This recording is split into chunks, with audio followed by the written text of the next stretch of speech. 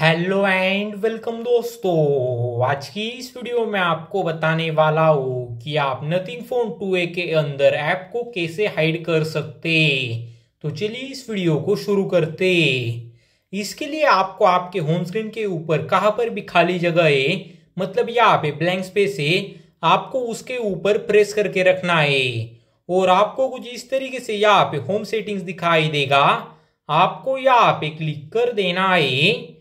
इसके बाद आपको यहाँ पे हाइड ऐप आइकॉन दिखाई देगा आपको यहाँ पे क्लिक कर देना है और जिस भी ऐप को आप यहाँ पे हाइड करना चाहते हैं आपको कुछ इस तरीके से यहाँ पे उस ऐप को ऐड कर देना है उस ऐप को ऐड करने के बाद आपको यहाँ पे बैक आना है बैक आने के बाद आप यहाँ पे देख सकते हैं यहाँ पे वो हमारा ऐप यहाँ पे हाइड हो चुका है अब यहाँ पे ऐप को अनहाइड करने के लिए फिर से आपको यहाँ पे प्रेस करके रखना है और यहाँ पे होम सेटिंग के ऊपर क्लिक कर देना है।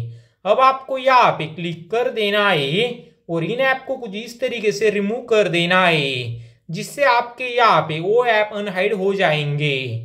अगर आपको इस वीडियो से मौत होती है तो प्लीज़ दोस्त के चैनल को सब्सक्राइब कीजिए। सब्सक्राइब करना बिल्कुल फ्री है।